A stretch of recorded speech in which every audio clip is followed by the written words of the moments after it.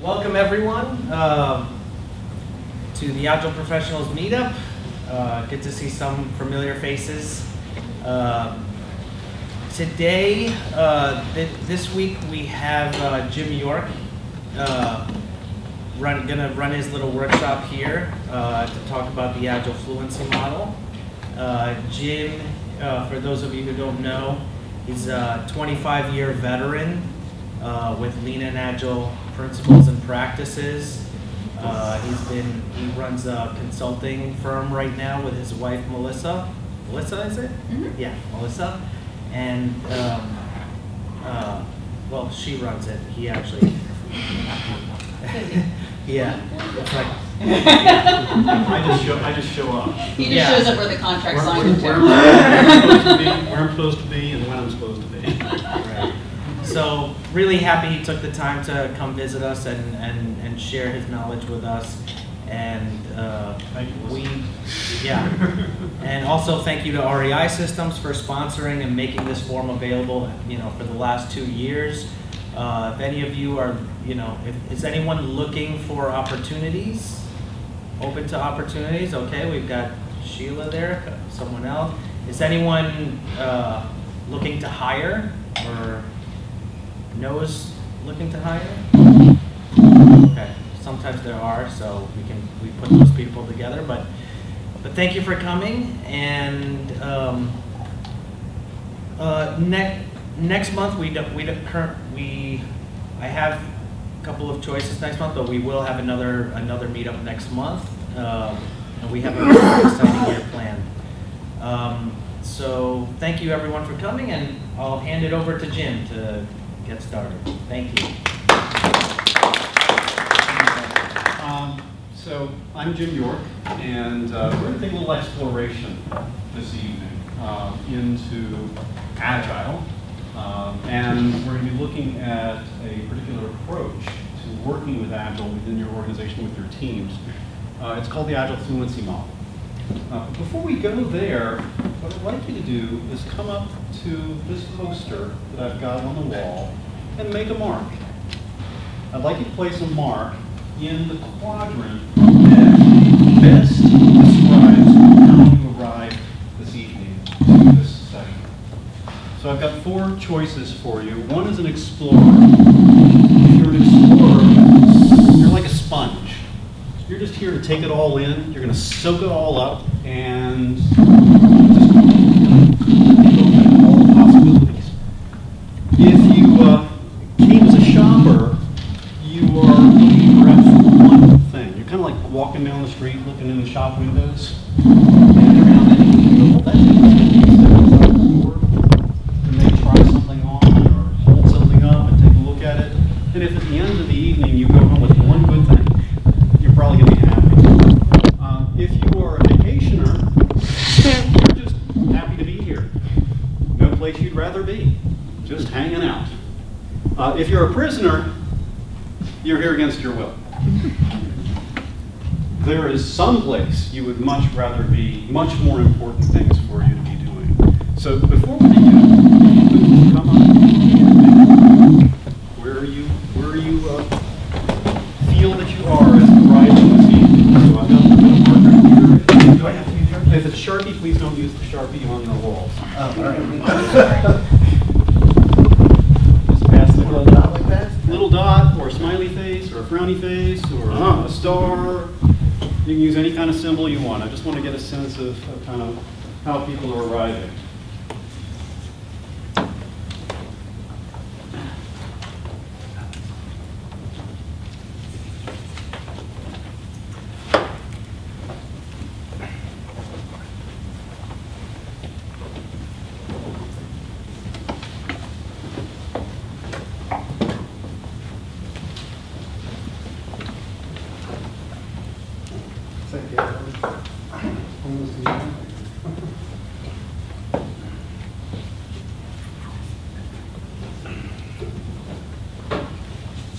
No prisoners. Nobody's here just for the PDUs? No? That might qualify that somebody's a prisoner if you're just here for the PDUs. Thank you. Okay, so we got lots of explorers, we got a couple of shoppers, no vacationers. I guess it is raining. So, no vacationers, um, no prisoners, okay. What would we do if we had prisoners here? What might we do?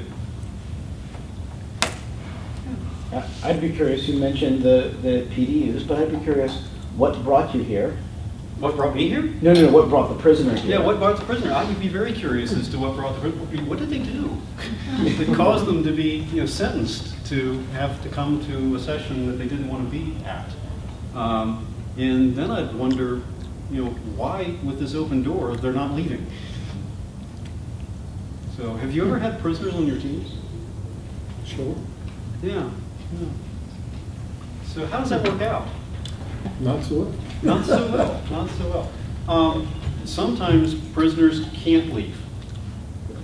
Sometimes they can't leave. Um, and my suggestion to a prisoner who can't leave is, well, if you're sentenced to be here, let's make the most of it. Let's just figure out what we can do that, that at the end of this, you can, you know, fulfill your sentence and go back with maybe something a little better than you're on. Vacationers, um, no vacationers? No? All right, so we're here to learn something. Would you be in the prisoner part? Oh, no, absolutely not. No, no, I'm definitely not a prisoner. I'm definitely not a prisoner. Um, so we're here to learn something.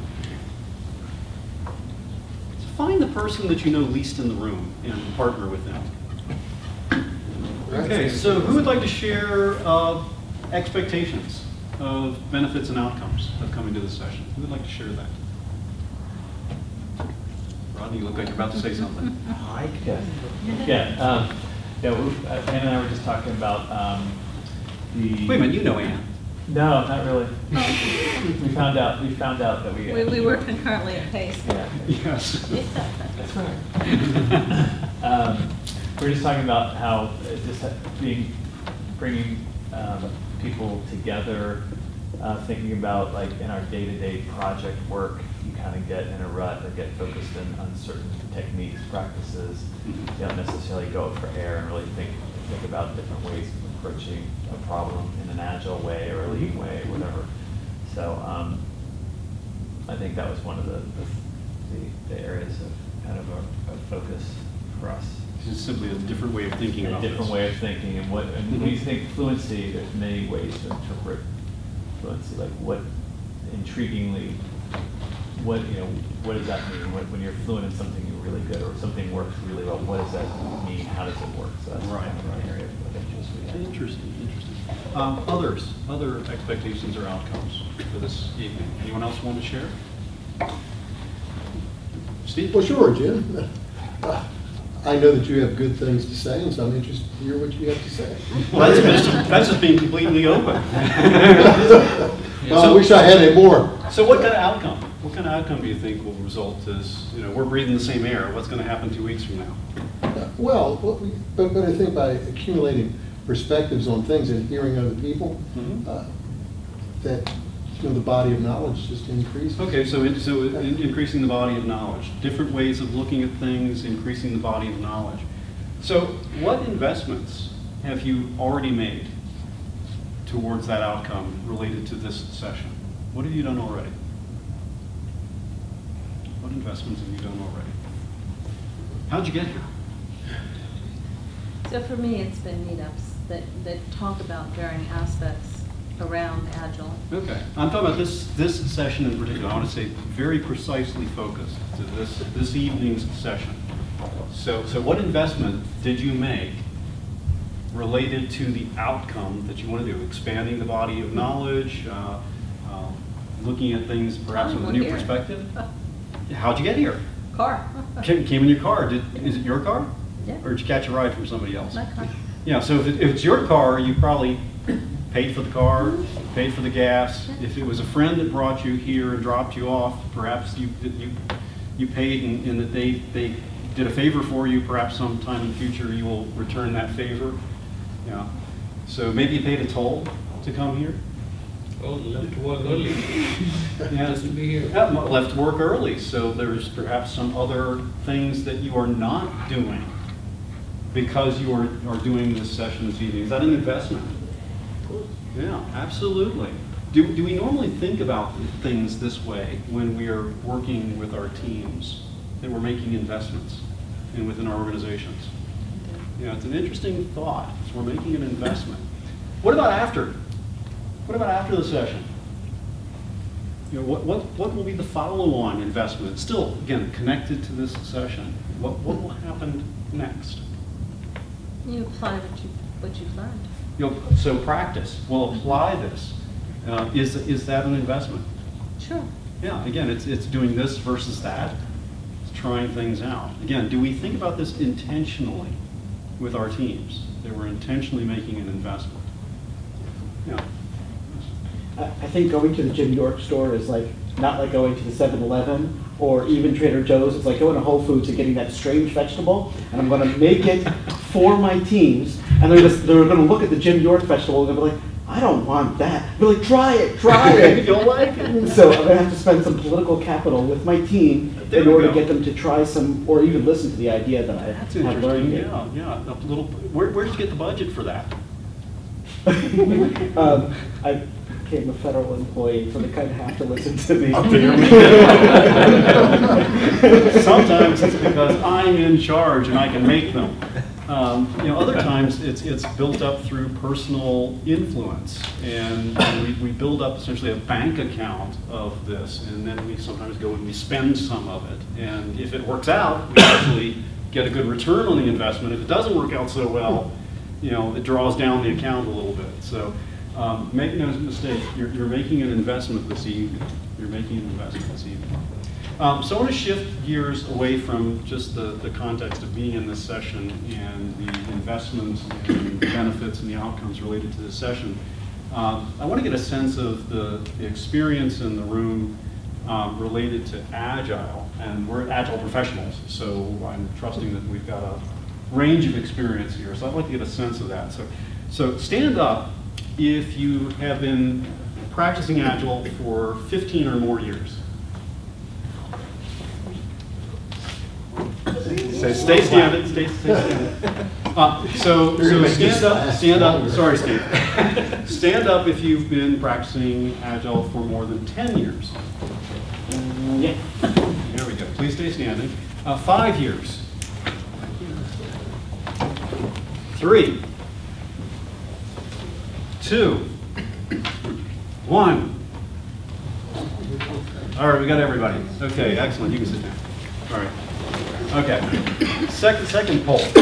Um, How familiar are you with tonight's topic? How many of you have used the Agile Fluency Model? How many of you have uh, read either the 2012 or the 2018 version of the Agile Fluency Model? How many of you are going to invest in reading it after the session? Okay, um, so the Agile Fluency Model has been around since 2012, and it has just recently been updated in March. So it's, it's got a brand-new version, um, and that's the version that we're going to be talking, talking about this evening. Um, So, given that we have experience in Agile in the room, what I'd like to get a sense of uh, also is why? Why Agile? Why Agile in your organization? The first question I have is, what prompted interest in Agile in your organization? What prompted interest? So find another person, somebody else you don't know in the room, and partner with them and share what it was that prompted interest in your organization around Agile. When you first got involved in it, what, what were people talking about? What was it that, that was the buzz around Agile? What was it about? And capture, capture these ideas, you know, like one idea on a, per sticky, per sticky, and, and come put them on, on the podium. The other thing is, I think it. Okay, we we're gonna do a quick share out. Do a quick share out. What are some things that people had as uh, drivers or prompted interest? you know, off the paper. So what are some ideas? What are some ideas that people had that prompted the interest in Agile? Expediting your process? So, so uh, is that faster, uh, less friction? Yeah. All of the above? Yeah, all of the above. So expedited our process. What else? What else uh, were the drivers or the prom- prompted interest? Yeah. Waterfall sucks. Waterfall sucks. So whatever we're doing currently is not working. Um, Yeah, so waterfall um, might be getting in the way. So we're going to try something new, try something different. What else? What else were uh, things that prompted interest? Well, Jim, I had an alt answer because from the beginning, you know, nobody ever said, I'm interested in Agile. We were always presented with problems that had no straightforward solution. So it was how do you break down the problem, especially with technology. Uh, I mean, I've been involved in projects where we were literally handed something that was new or didn't even have all the bits in it, Mhm. right? And so you have to say, well, then how do you implement that? Yeah, you said you had a puzzle uh, without any predetermined solution, and need an approach that works in that situation. So um, that's an uh, approach to Agile without even using the word Agile. It's it's simply, we've got a problem that's got some unknowns, and we need to figure it out. And Agile turns out to be quite suitable in that space. Yeah, so, so what prompted interest in Agile can come from a myriad of different places. What was the expected outcome? That's the next discussion. Find the next person in the room that you know the least and partner with them. What did you try? What did you try? Um, I don't know about you, but I am terrible at remembering people's names. Um, so you might say that I'm not fluent in everyone's name in this circle. Um, in order to get better fluency in understanding everyone's names, how do we accomplish that? We do so through practice Repetition. repetition. So this is a very simple game um, whose intent is to help us attain proficiency in each other's names. So I will begin. I will say my name, and I will tell you a little something about myself, and I will do a gesture that represents that thing that I'm telling you about myself. Uh, The next person in the circle will introduce themselves and do the same thing, but only after they have repeated the name, the story, and the gesture of those who went before. Oh dear. And we're going this way. What kind of thing should we be sharing? So I will give an example. My name is Jim. I like to make things grow.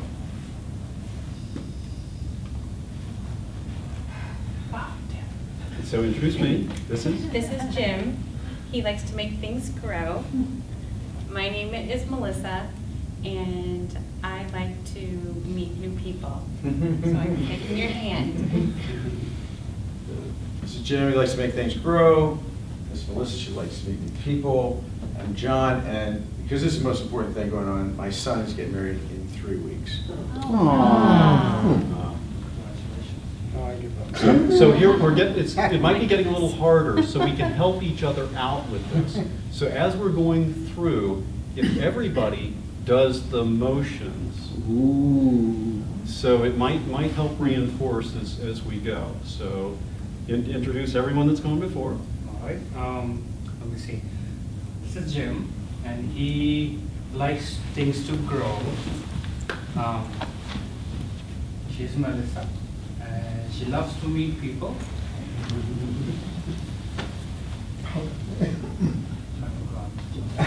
John? So we can help out. So this is, So, this is John. John, uh, this is John, and, oh, his son is getting married in three Three weeks. weeks. Three weeks. Uh, Damn, bad memory. Um, My name is Nash, and I love to train people.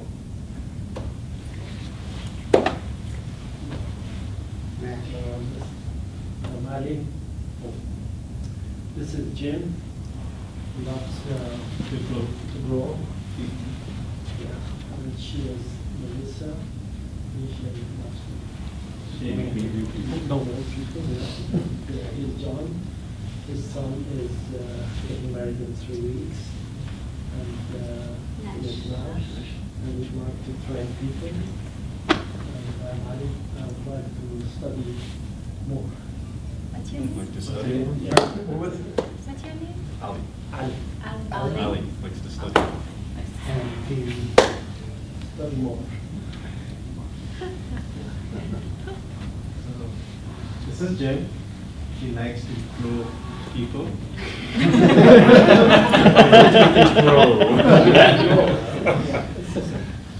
Melissa she loves to meet people. This is John. His son is getting married in three weeks. This is Nash. He loves to train people. And this is Ali. He loves to study. I'm Vishal. I love agile retrospectives. Ah.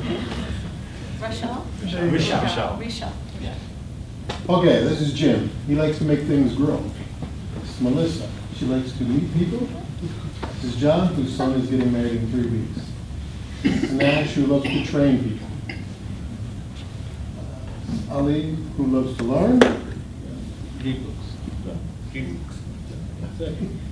And this is Vishal, who loves agile retrospectives. I'm Steve, um, and.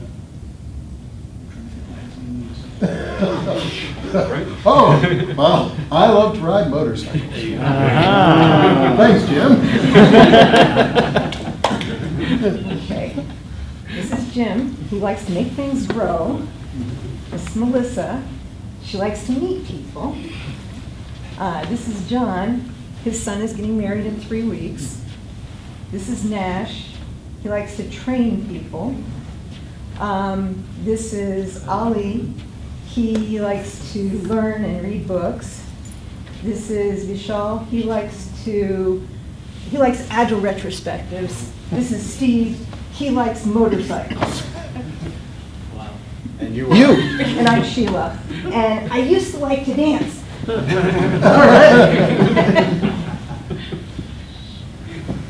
So we have Jim, he likes to grow. We have Melissa, she likes to meet people. We have John, his son is getting married in three weeks. We have Nash, he likes to train people. And then we have Ali, who likes to study. And then Vishal, who likes to retrospectives. And then Steve, who likes to ride motorcycles. And Sheila loves to dance. And I love Argentine soccer. This is Matthias. Matthias. I love Argentine soccer, and this is the, the chant. All right. Yes. All right. That's Jim. He likes to make things grow. This is Melissa. She likes to introduce herself. That's John. He's got a, a son's getting married in three weeks. Nash uh, likes to train people. Ali likes to study. Uh, Rochelle, thank God you're here. Uh, Rochelle likes to do retrospectives. Steve rides his motorcycle. Sheila likes to dance. Uh, Matthias uh, likes Argentine soccer. I have a three-year-old who is growing. What's your name? Oh, I'm Dave. Dave. Son, son that's growing? Three-year-old. Uh, she's a daughter. She, she. A daughter she- is growing. Daughter's growing. Okay. Hi, uh, that's Jim, and he likes things to grow. That's Melissa, and uh, she likes meeting new people. And that's John. His son is getting married in three weeks. That's Nash. Uh, he likes to train people. That's Ali. He likes to read books. And that's Vishal. He likes agile ret- retrospectives. And that's Steve. He likes to ride bikes. And that's Sheila, and she likes to dance. and that's Matthews. He likes Argentine. What's that? I forgot. Argentine soccer. Yeah. And that's Steve. Yes. And he has a three-year-old who's growing. And this is Rohini. I like to learn new things. Rohini. Rohini. Rohini. Rohini. Rohini. Rohini. R-O-H-I-N-I. Rohini. This is Jim, who likes to make things grow. This is Melissa, who likes to uh, meet new people. This is John, whose son is getting married in three weeks. That's Nash, who likes to train teams. This is Ali, who likes to read books. This is mm, Vishal. Vishal, who likes agile retrospect. That's Steve, he likes to ride motorcycles. Sheila likes to dance. Mathis likes Argentine soccer. Jim has a Dave. Dave. So, Dave has a young daughter who is growing. This is Rahini. She likes to learn new things. I'm Catherine, and I'm athletic. It's kind of All right. Jim, he likes, to- he likes to grow or watch things grow or to Make things grow. Melissa, um, Melissa likes to meet new people. John has a son getting married in three weeks. Nash likes to teach. Uh, Ali likes to read. You, I've heard your name like three different ways. Vishal. Vishal, there we go. Is it with a Likes V or retrospectives. Steve likes motorcycles. What's that? Oh. Okay. Steve likes motorcycles. Sheila loves to dance. Matthias loves to. Hey, oh yeah. Dave has a daughter that's growing really quickly. Um, Rohini um, likes to think. Learn. Learn. Use this. Use this. Um, Catherine likes to is athletic. Yes. My name is Rodney, and I play the banjo. Oh, okay. Oh, I like that. Okay, it's Jim, who likes to make things grow. Melissa, who likes to meet new people. John, who has a son who's gonna get married in three weeks. Nash, who likes to train teams. Ali, who likes to study. And Vishal, who likes agile retrospectives. Steve, who likes motorcycle riding. Sheila, who likes to dance. Matthias, who likes Argentine soccer. Dave, who has a little girl who's growing. Rohini, who likes to learn. Catherine, who's athletic. Rodney, who plays the banjo. And I am Anne, and uh, I grew up in Thailand. So Jim like to grow something, And Marisa like to um, shake meet people, and John, uh, son getting married in three weeks, and Nash like to teach, and Ali like to learn and read, and Vi- Vi- Vishal. Vishal, Vishal, read like retrospective, and Steve like ride a motorcycle, and John like to dance. All right, but uh, Matthias like to plays Argentina soccer, and uh, Dave had a daughter grow, three years old. All right, and Rohini, Rohini like to uh, learn. Catherine, athlete, right? And uh, Ronnie likes banjo. All Banjo. right, and Anne likes um, She's from Thailand. Thailand. Grew up, we're grew up in Thailand. Thailand. And Saya, like a Taiji. Chi. What's the name? Saya. Saya. Right. Okay. Jim likes things to grow. Uh, Michelle, or Melissa likes to meet new people. Oh, yeah. John has a son getting married in three weeks. Roshan, no. Nash. Nash. Nash. um, likes to learn. Let's Change, change, change. How about the Treat, teach, okay. I don't like to be on stage. Um, Can I Ally- just say this is the best game of Whisper Down the Lane ever? So Ali? Ally, to, uh, and Vishal. Vishal, uh, Agile Retrospective. Uh, Steve likes to ride a motorcycle. Uh, Likes to dance. Soccer. You have a little girl, Dave likes a little girl, uh, has a little girl that's growing. Uh, Oheen likes to learn. Uh, Ann likes, Catherine. Catherine uh, likes to work out. Uh, And Roger. Rodney. Close Rodney. Banjo. And uh, banjo. And grew up in Taiwan. Thailand. Thailand. Thailand. Uh, I don't remember. Saya. Saya. Kaya. Saya. Saya. what's that called? Tai Chi. Tai Chi? Saya likes Tai Trying to mimic Matthias. And I'm David, and I like to take care of my grandson. All right. You can do it. St. Louis.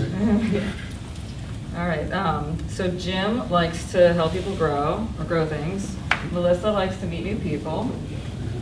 Uh, John's son is get three, in three weeks, son's getting married. Uh, Nash likes to train people. Uh, Ali likes to study. Uh, don't say it, don't say it. Darn it, it's like, because I, kn- I know it's a V or an R, because I, you said it was a V, but Vish, Vish, Vishal. Vishal. Vishal. Darn it. All right, sorry. So Vishal likes Retrospectives. retrospectives. Uh, Steve likes to motorcycle ride. Sheila likes to dance. Mateus likes to soccer. David likes his daughter, she's growing. Rohini likes to learn things. Uh, Catherine likes, she's athletic. Rodney plays his banjo. Anne's from Thailand. Saya likes Tai Chi. Uh, David likes hanging out with his grandson. And I'm Christy, and I like to paint.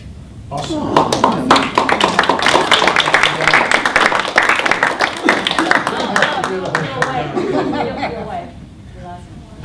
Jim has to do this when you want. Can I start with Jim? She, she, actually, this is a little unfair. She didn't get to, she didn't participate through the whole thing, so. Okay, Jim likes to make things grow. Melissa likes to meet people. John, his son getting married in three weeks. Yes. Ollie likes to read. Nash likes to train people. Vishal. Likes Vishal. Ali? Agile retrospective, Steve likes motorcycles, Sheila likes to dance, Matthias likes Argentine soccer, Dave has a three-year-old who's growing. I s- couldn't see this part of the room, so it's gonna be, likes to learn. Catherine, is athletic, Rodney, banjo, and Thailand, likes Tai Chi, Dave likes to hang out with his grandson, and I missed yours, Christy. Christy likes to paint. Paint.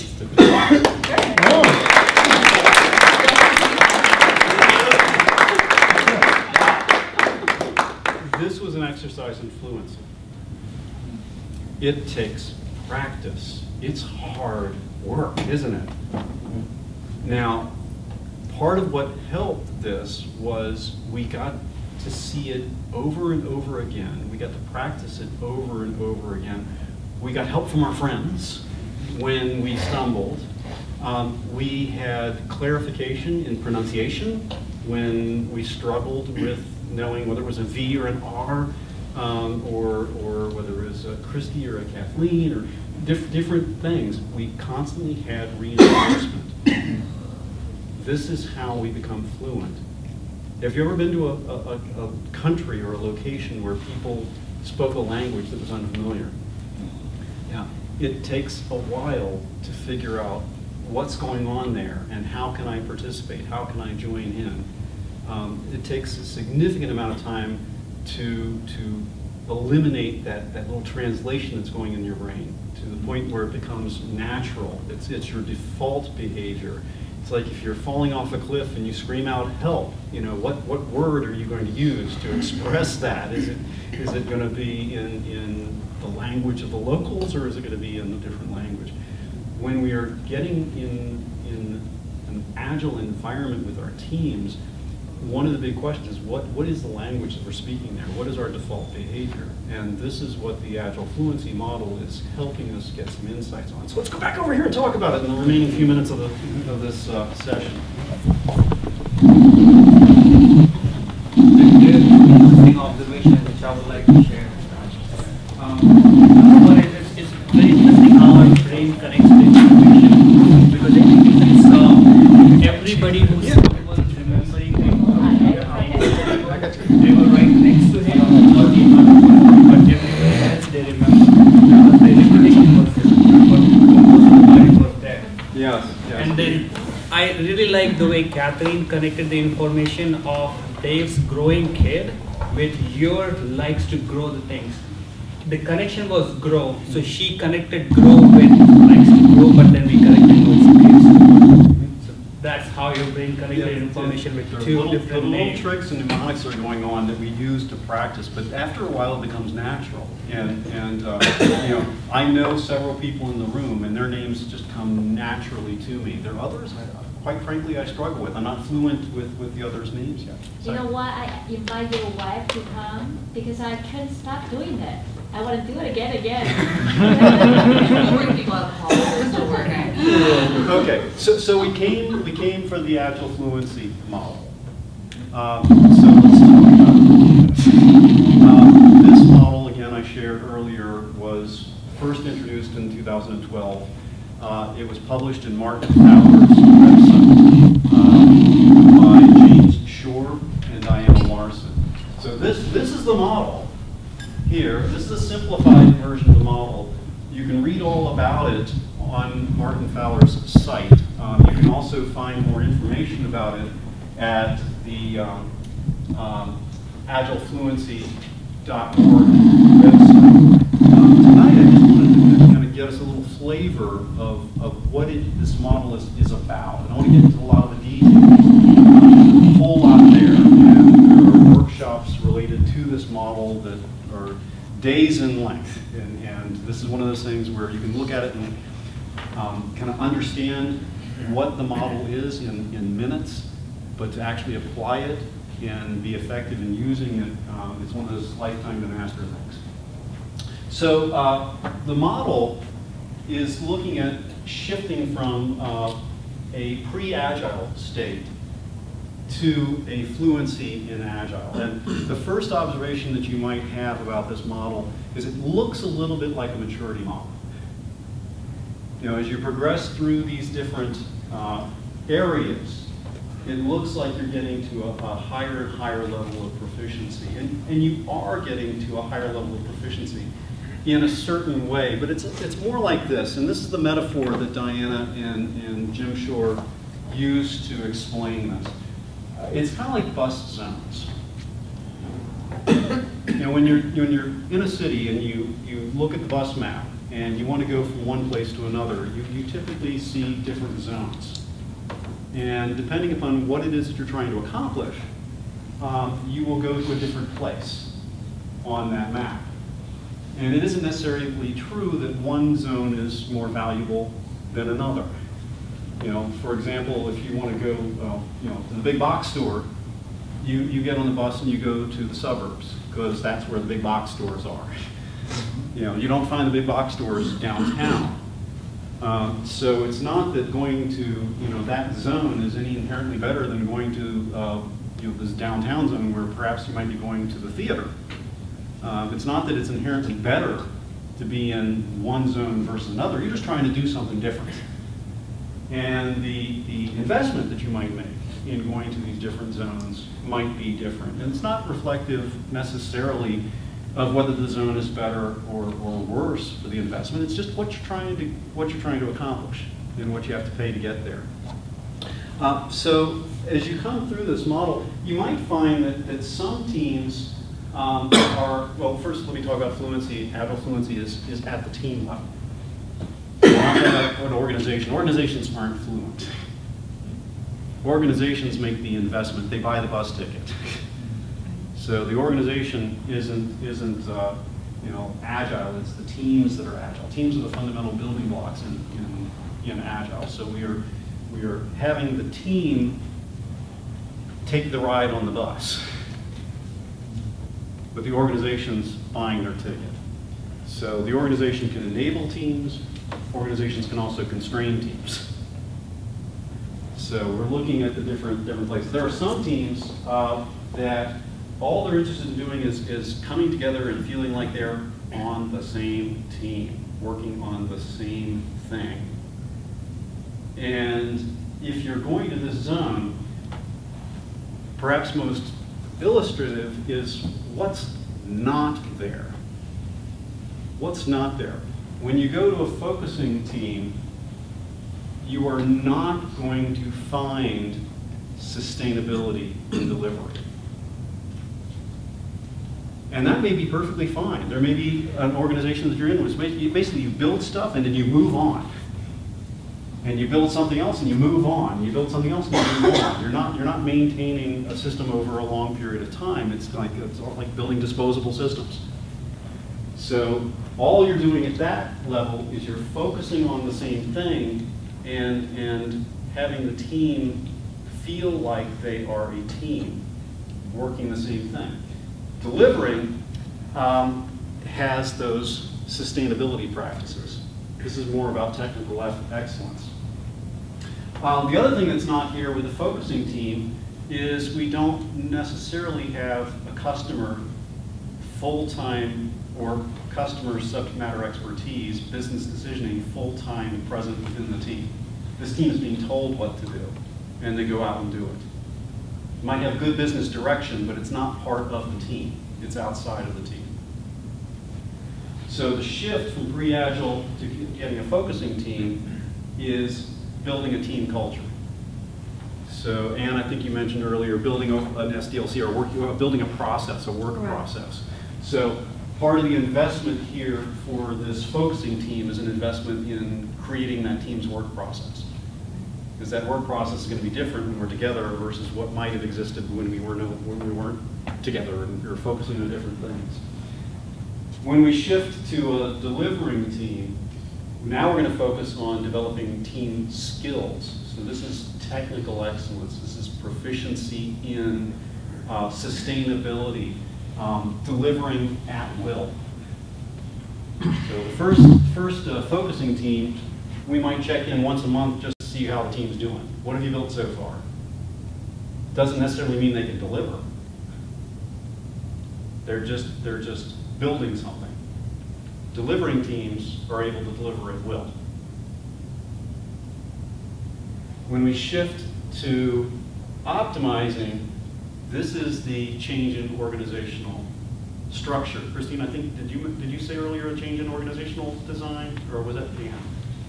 Dan, you know, a- an investment in changing the organizational structure here. So this might be um, putting uh, testing or QA members permanently on the team. This would definitely be uh, having business decisioning within the team. They are now making the investment decisions, they are making the business decisions on, on what is done. That's contained within the team as opposed to being directed from outside of the team. So we're shifting here, we're starting to make changes in the organizational design. Uh, When we move to strengthening, we're now moving to where that team sees where it is in the context of the larger organization. How all the pieces and parts of the overall organization serve a greater, a greater cause or a greater mission. Um, This area of strengthening is kind of the, it's the future of Agile. We really don't know where this is going.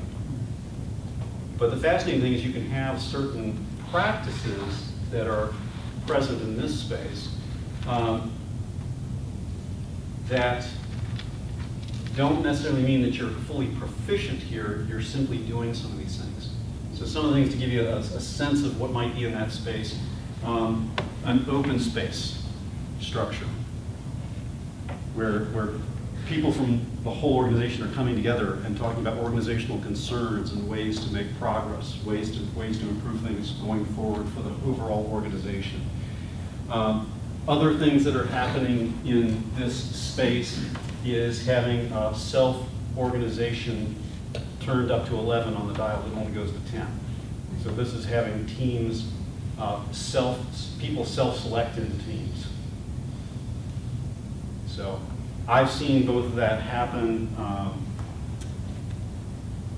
for the last couple of decades. So this, these are not new things that are happening, but we are not talking about being proficient in all of the different um, capabilities here. So in each of these zones, there are some core benefits. There are key proficiencies. And investments that need to be made to be in these places. And there are some core metrics that, that you'll find. And there's a simple little one page I'm going to hand out here for the model. It gives a little bit more detail about this.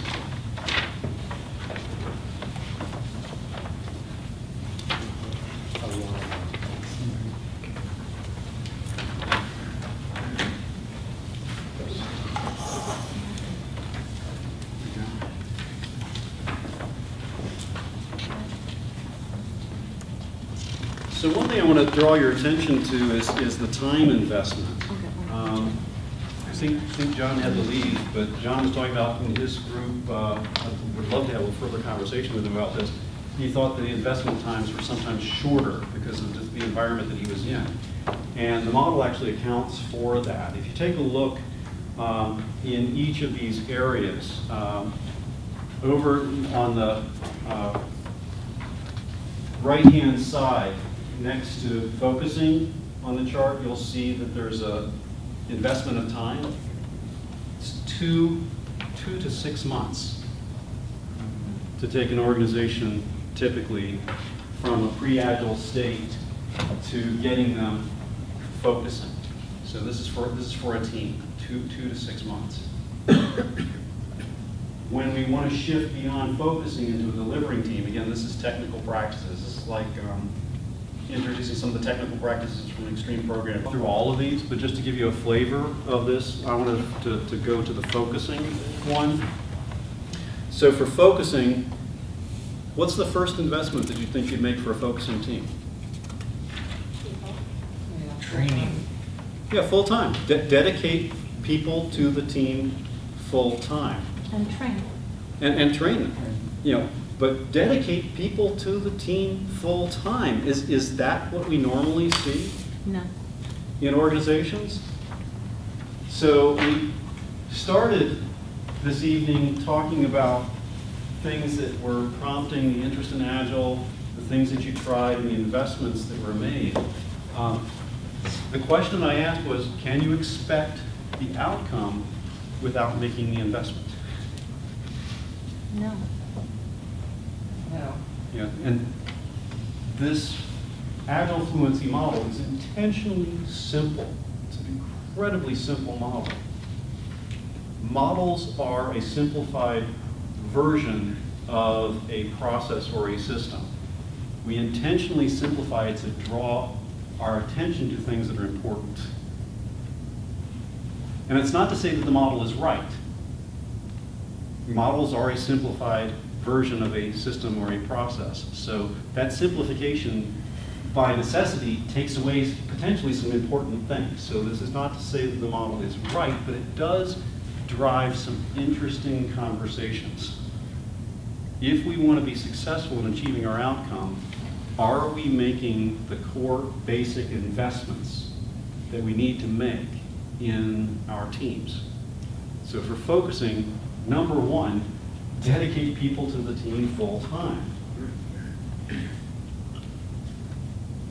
I think all, too- all too often, you have companies that want to get there, but it's like if you were, let's say you wanted everybody to stop drinking coffee, and you Mhm. wanted to drink tea. As long as you're continuing to serve coffee as a menu item, it's not going to happen. Yes. Because people like the coffee and that's what they want to drink. Yep. And so you kind of just have to take away all the coffee and say, we're drinking tea now, guys, go for it. Lots of different kinds. You So one of the things to keep clear here is the model is about developing proficiencies within a team. Right, but it's the same kind of thing, which is, you know, uh, I was on an assignment uh, early last year at a company, financial services industry, Mhm. and they're saying they want to commit to Agile, they're saying Agile as the first um, thing, but they have, they want to keep delivering, and they have teams that don't know Agile. They're training on the side, they're bringing in coaching, they have a set of rules, okay, we want you to follow this. But um, they won't dedicate the teams, it doesn't happen, because they're too busy trying to deliver other things. You know, it, it's kind of funny that you, you you mentioned that, because when Jim brought up the metaphor of you're in a foreign country, I thought about the time that I lived in Italy, and almost all the Italians would assume that you were American. You could walk up, and we'd have, uh, uh, I was a soldier at the time, I was in the US Army, and we'd have people who English was their second language, right? I, I had a, a buddy who was, uh, um, who spoke Spanish as his first language. He'd walk up, and they'd start speaking English to him, and as a joke, he'd start speaking back Spanish, right? Uh, but the point is that as long as people were speaking English, You the soldiers were not learning Italian. Exactly. And they weren't even learning the Italian culture, because the Italian culture comes through in the language. That's right. Yeah, and that- I think that's absolutely critical. And this is the job of the organization is to make the investment in this space so that you are immersed. You're immersed into the But the, experience. I think the hybrid, I understand why they do it, but it is uh, setting yourself up for failure. Mhm. Because you'll never get away from it. You just kind of have to Right, do it. right. You got to jump in, get wet, and do it. Mhm. Right. Otherwise, it's not going to happen. Yeah. Or it's going to happen very late in the game, and you're, you know, you're missing out on a lot. And Uh, it's well, not you going to be it- that It'll it'll competitive. delay it or, and potentially forever. Yeah. Yeah, it certainly, certainly will slow it down. Steve? Yeah, but Jim, isn't that a bit of a misuse of a term? 'Cause if you say invest, the presumption in an investment is that there's some rate of return. That's the big question, is what is the expected rate of return? What, what are you trying to accomplish? That informs which zone you want to go to. Mm-hmm. Yes, but would you, in- would you invest in something? If, if I said, well, Jim, here's an investment, uh, where you had to make a real investment, you said, well, what's, what do I What's get? return? Yeah. Or what do I get out of this? And I said, well, we don't know. So, so the, the model is built with some expected kind of core metrics around this. So on a focusing team is what is the benefit, what is the core thing you're gonna see? You're gonna see what the team is working on, at least once a month. That's the core benefit that you get. Are you willing to make the investment? And the investment is, again, things like dedicated team members, uh, creating uh, shared uh, space for the team, uh, creating a focus for the team by having business representation that's telling the team what it is that they want the team to be building. Yeah, but Jim, what I, what I hear, and I've heard this a lot, it's like, okay, so to co-locate people Mhm. and to have a dedicated team, you're incurring real personnel and occupancy expenses. Absolutely. right? So you have to, you have to Well, weigh you're saying, well, you get to see something. Is that So- So it can translate into. No, no, what, what I'm saying is, is you have to, you have to have a, pres- to call it an investment, you have to presume valuation of, of that. Well, that's the You- you return. You can't talking say- about the return? No, you can't, no, no, you can't, you can't take a tangible and then compare it to something intangible Well, but you can't. and call it an investment. Okay, well, give me another I example. think you can. So for example, Give me an when- example when you're, of when you're putting up, when you're putting together a project, whether or not you're doing agile, you still have to figure out what your, what your business case is for Yes. spending the monies and what they're gonna be and what you're budgeting, Yep. right? And so, um, part of that is if I want to deliver, let's say, uh, I'm the VP of products and I say, you know, gee, our customers are really going for this new thing and we gotta get it out there in three months because you know what, all of our competitors are there. So we're gonna lose market share if we don't get it out there. So that becomes a dollar value, you know, we expect to retain and increase by so much. No, with all due respect, it does not become a dollar value unless you can monetize it, right? Yes, but you can monetize it. You can look at your market share. You can look at your, you know, what you're selling to your current customer. If you're looking at what you're share, selling to your current customers, right? You can either increase that, you can increase the margins on what you're selling. Right. But, but not getting to market is an opportunity cost. It's not, you, you won't find it in a prospectus, because you can't put those in there.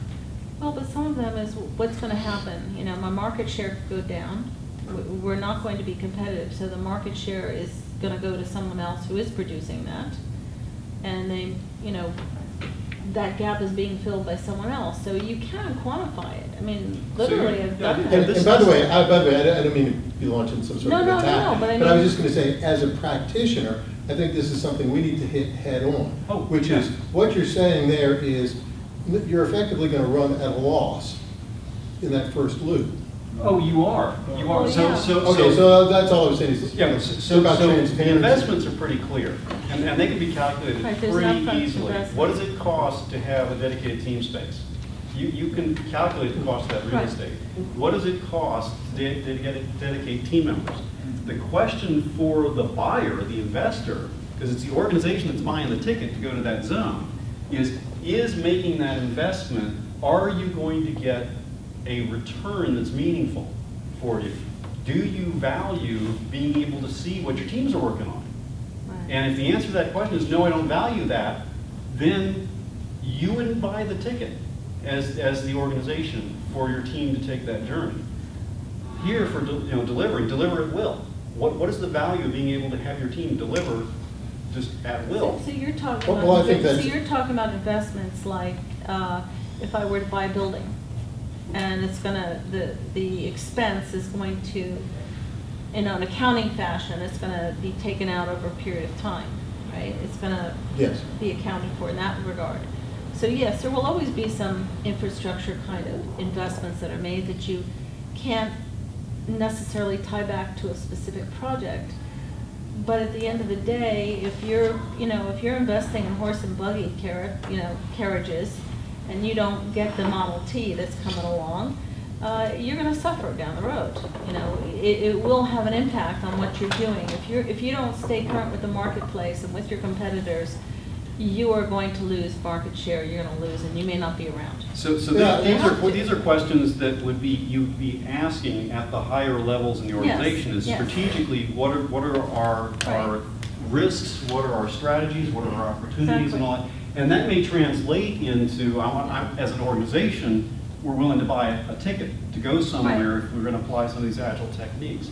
Um, That's a different kind of modeling, it's a different kind Right. of, of kind of setting of the goals. The, the fluency model is looking at what is your team able to do? And is your team being able to focus, or is your team being able to deliver, or is your team being able to optimize, essentially define, define their market? Are those things that are important to the organizational strategy? And, and if so, the organization might want to make an investment in the team developing those kinds of proficiencies. And that's really what the model is about, is trying to connect organizational strategy to, to practice. What proficiencies do we want to have our teams do? Um, so the key thing to keep in mind, though, is it is a model. It, it's not about necessarily even talking about the model with your organization. It's, it's about using the model to inform what kinds of investments are necessary, to clarify what might be going wrong if you're trying to accomplish proficiency in, for example, the delivering zone. The model helps provide clarity around why it is that you might be struggling in that space. And also, it helps align conversations. So when we're talking about a team, what are we trying to accomplish? Um, sometimes we have teams that think that what we're doing is we're focusing, but you have individual team members that are thinking what we're trying to do is optimize. And that disconnect can often, you know, cause some confusion when you're on the bus going to that zone. Um, what is it that we need to do in practice? So that's a very quick introduction to the model. I would, I would encourage you to go to the agilefluency.org website, read some more about it. And again, the original article was published on the, uh, on Martin Fowler's website. There's a link to that from the, from the agilefluency.org website.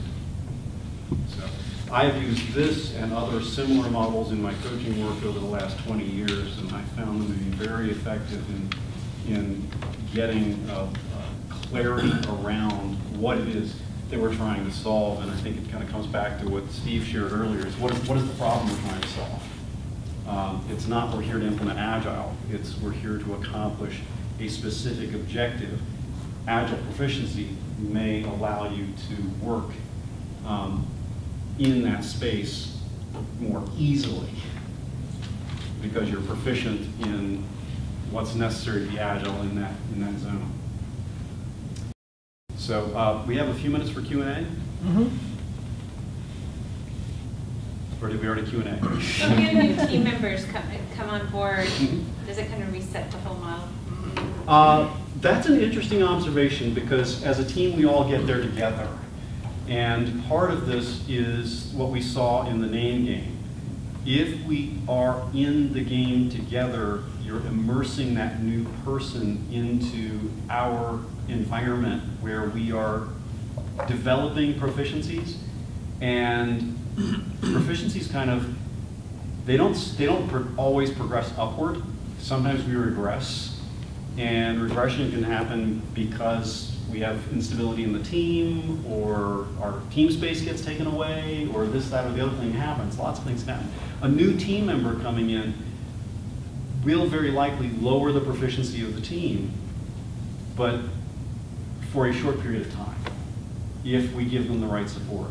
Um, just again, as we did in the name game, when somebody couldn't remember somebody's name, the rest of the, the rest of our group stepped in and gave them some hints, gave them some reinforcement, and through that reinforcement, we tend to learn very quickly. So, yeah, absolutely, every time we make a shift, there's gonna be a, there's gonna be some adjustment to absorb that. But we, we all get there together. That's one, it's an interesting observation with the, with your coaches, with your teams, with your fellow teammates, is that when, when somebody new comes on board, they need, they need to be incorporated as part of the team. You know, How do we welcome them? How, how do we, how do we do things? And, and there are different techniques, pairing and other things, swarming, that, that can help with that. So, other, other questions?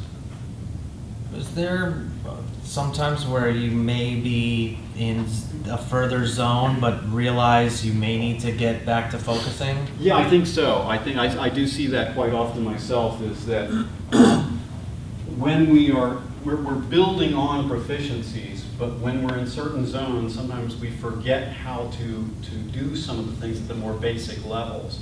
So it, it's almost like, uh, you know, when you are, uh, you know, doing uh, an activity, sometimes you go back to the basics. Like if you're watching a professional football game, you know, before the game starts, you see the players go out on the field and run through some basic drills.